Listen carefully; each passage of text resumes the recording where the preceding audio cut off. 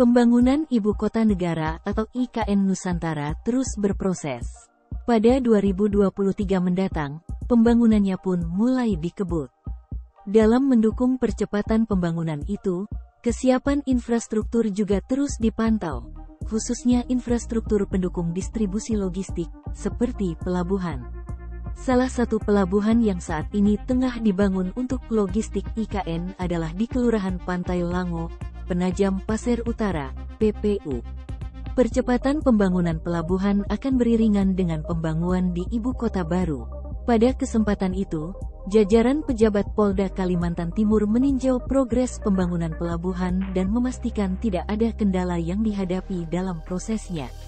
Wakapolres PPU Kompol Bergas Hartoko mengatakan, bahwa pembangunan IKN akan terus dikawal oleh pihak kepolisian. Hal itu juga menjadi atensi dari Polda Kaltim agar pembangunan pelabuhan bisa dilakukan dengan cepat. Potensi masalah yang menghambat dalam pengiriman logistik IKN berupaya diminimalisir oleh pihak kepolisian. Pola pengaman juga akan diterapkan agar menghindari potensi masalah yang memungkinkan terjadi.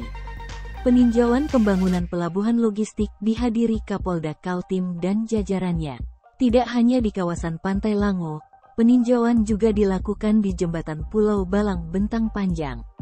Sebelumnya diketahui, ada beberapa pelabuhan yang dipersiapkan untuk menjadi pelabuhan logistik IKN.